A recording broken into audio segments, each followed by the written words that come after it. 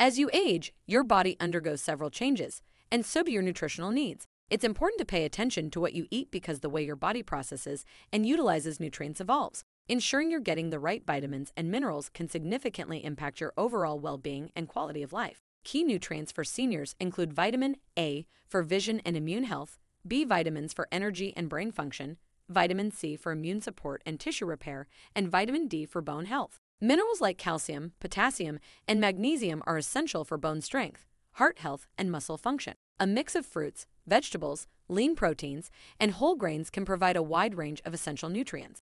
For more information about Medicare, please speak with a Senior Healthcare Solutions Medicare expert today at 866 633 4427. Thanks for watching. Like and subscribe for more Medicare videos.